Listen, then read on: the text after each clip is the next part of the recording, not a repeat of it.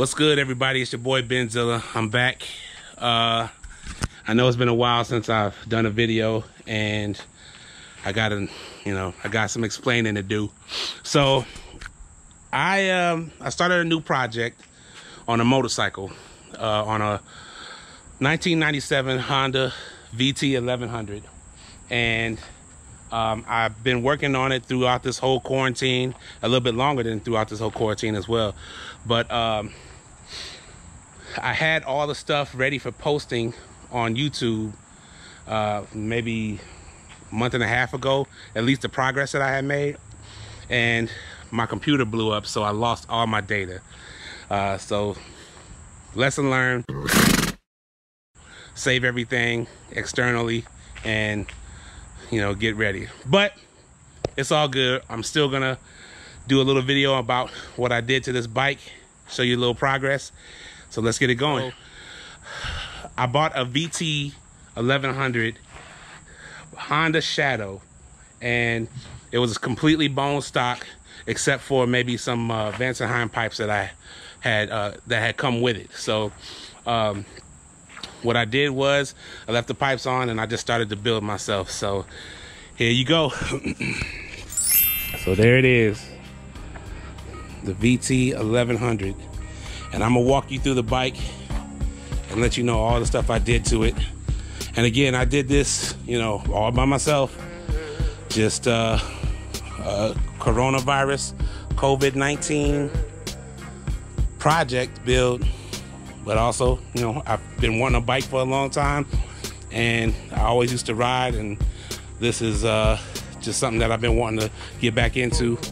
And now that I got back into it and we're gonna just see where this goes. Don't mind the paint job because it's gonna get repainted soon. So I bought, uh, I had a video of all the stuff that I bought to put on here too. Uh, but regardless, so let's get into it. Uh, so the first thing I guess you'll notice notice is the tank here. Uh, it was a completely stock tank, as you can tell by the logo. Um, it had a, it had some dents on it, so I just decided to dish it in. So what I did was I took a little shaping hammer and just dished in the sides so that they, it would give that old school chopper look. And um, I liked it. It turned out really nice. This dent is still here. I'm gonna see if the paint guy can get that out, but otherwise, I, I don't really mind the dent. It's not too bad. so that's uh what I did to the tank. It, it wasn't too hard, and, and, the inside of the tank was mad clean. So I did have to change the petcock because uh, the old petcock was just crusty and it was bad. Uh, so then uh, I bought new uh, handlebars. So these are just some one inch Z bars that I got off of Amazon, mad cheap, super cheap. Deleted the front uh, fender. I might put it back on. I don't know yet. I'm gonna have him paint it and then we'll see. Uh, haven't changed the headlight yet, but I might do that. Uh, I did take off the lollipop uh, headlights and put on these uh, small bullet style headlight, or excuse me, indicators, turn signals. So I got rid of the lollipop turn signals and put these on, and man, they was a beast to wire. I don't know what, how I figured it out, but I figured it out. Um, wiring is not my thing. Uh, and I, I, obviously you can see them back here and I changed to the side plate uh, with the with the brake light. Um, I don't know if I'm gonna keep it there or not, but we'll see.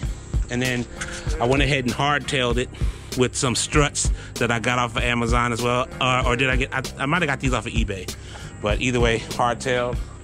And there's the Vance and Hine pipes.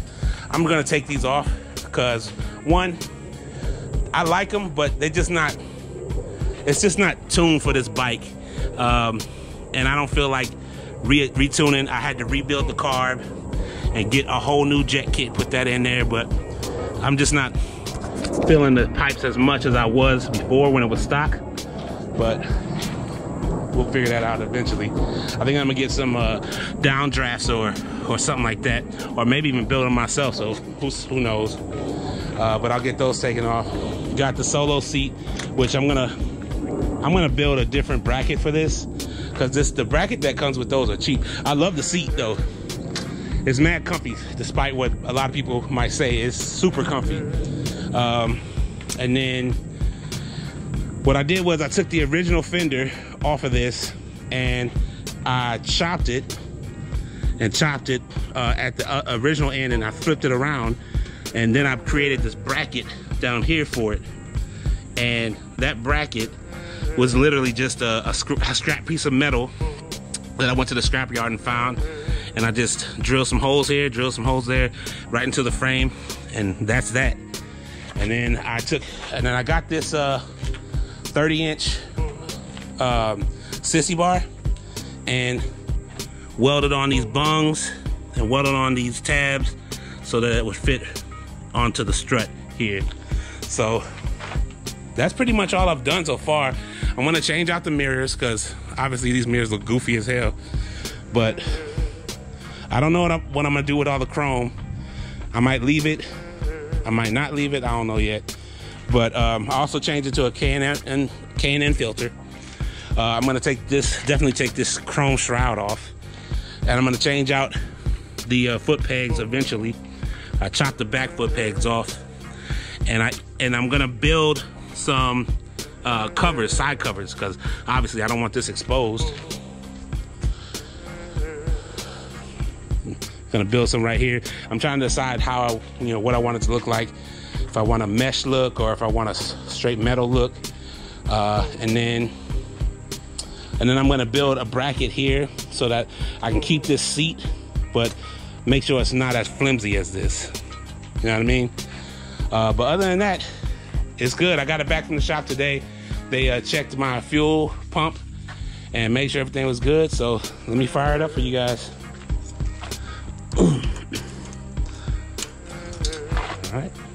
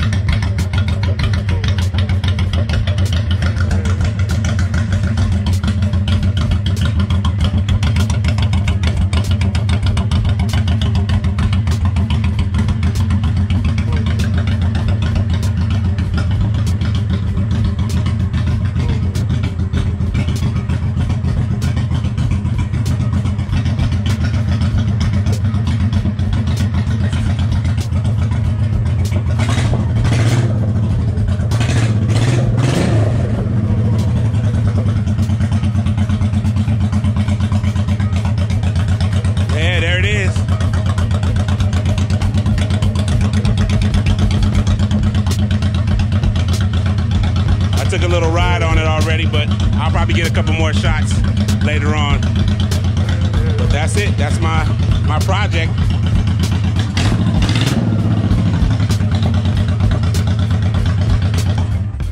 Yeah, there it is. So, uh, so again, I hope you guys don't mind that I'm doing this a little bit later than I wanted to do it, but I had I had videos of the whole process, man. Uh, me welding, which I'll probably try to cut some of that in. Cause whatever I did, some pictures of all, cause that was my little station, man. These are all the tools I use. Like there was nothing special. I bought this little cheap welder from Harbor Freight. Uh, stitcher cord, some of my regular tools that I use to work on uh, my my truck over there, and then some jacks and a little bit of a wheel lock, and that's that's it, man. So that's all I did and mug runs nice. It's a beautiful bike. It's fun to ride. I mean, I can't complain. So anyway, stay tuned for a couple of riding videos and we'll see uh, we'll see what happens later on with this build, all right? Thanks. Thanks for watching the channel. Like, subscribe, leave a comment. Let me know what you guys would do to the bike. And hopefully the next time you guys see this really, really done, it'll be a all painted for the color scheme that I'm thinking about going with. So anyway, yo, thanks a lot. This is Benzilla 06. Like, subscribe, tell me what you think, and let me know what you want to see next, all right? Peace. Yo, what's going on, everybody? Benzilla back here again, just doing a little bit of voiceover uh, for this B-roll footage. So some of this footage is um, uh, some of the stuff that I lost, um, but I was able to find again on my um, a couple of uh, discs that I had uh, saved from the old computer. Um, still not everything, but this was a video from maybe like a few months ago. Not even a few months ago. I think this was. Yeah, no, this was a few months ago. I think this was back right when the, the lockdown and coronavirus had all started. And uh, I came home just to pull this out and uh, do some you know, maintenance on it, uh, get some things done, and then uh, try to uh, get it to the um, shop to get inspected. So I'm just geeked and happy that I'm about to start this whole project, and um, I don't know, I'm just happy with it. But uh, just going through a couple of things on this joint. Um, so that was the the bike um, originally, the original setup. So you know, pretty common. Not too, not too, uh, nothing too special. So, and then this is a, a little bit of the chopping job that I did. I chopped off the uh, rear pedals. They had the, uh, not the real pedals, the pegs, uh, the passenger pegs. So it had the flat, um, long style passenger pegs on there. I didn't want to chop it off, but um, they were the rust on the uh, cotter pin was so frozen on there I couldn't even get it off. So just decided to go ahead and chop it, man. I mean, I figured I bought this, uh, these tools and this bike, and shoot, it's mine. I can do whatever I want to do with it, and it wasn't too bad. It was pretty fun. Um, my first time chopping on a bike before, and I was like, yo, I don't want to cut anything. Uh, but you know, right here you can see, I, uh, you know, I'm probably second guessing some things, but then I'm thinking to myself, you know what, this is mine.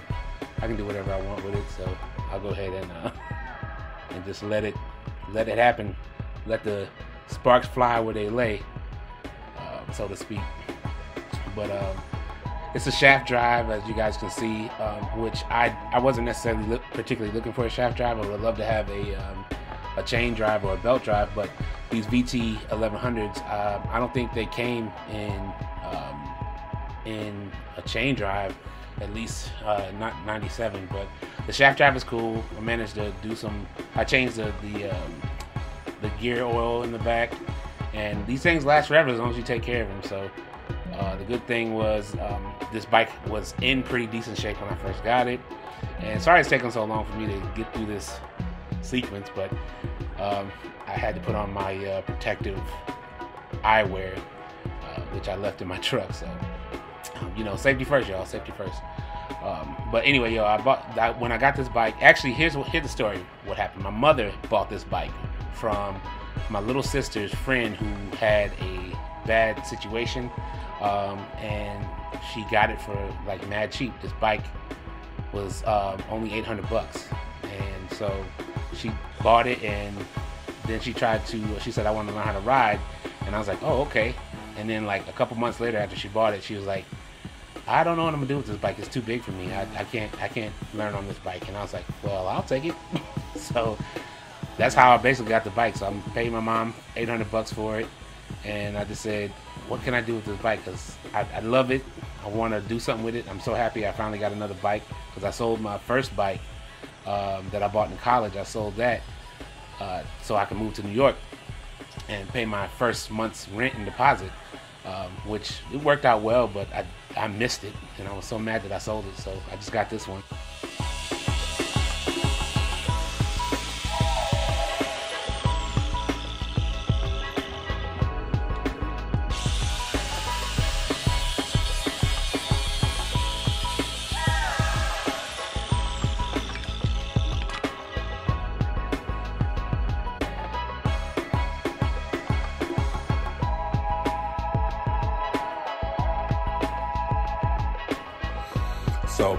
Managed to strip down the bike for the most part.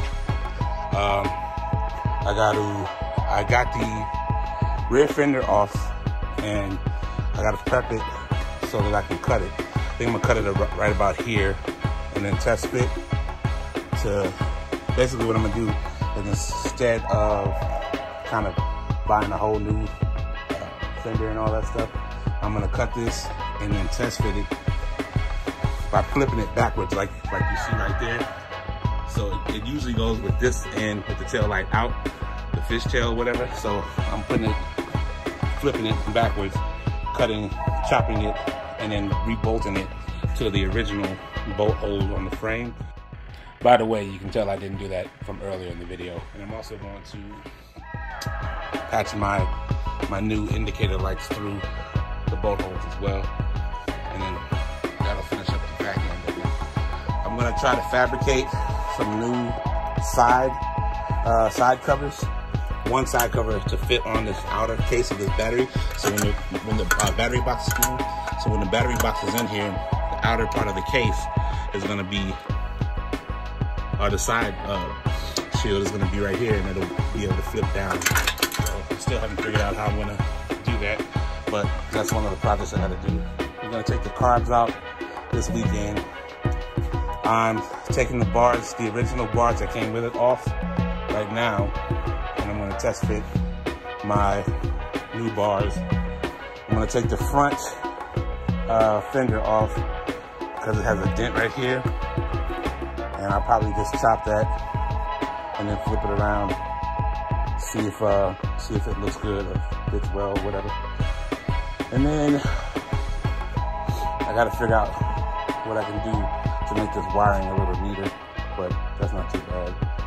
But once the carbs are off, I'm gonna clean the carbs, put uh, new jets in them, and uh, just get them back together.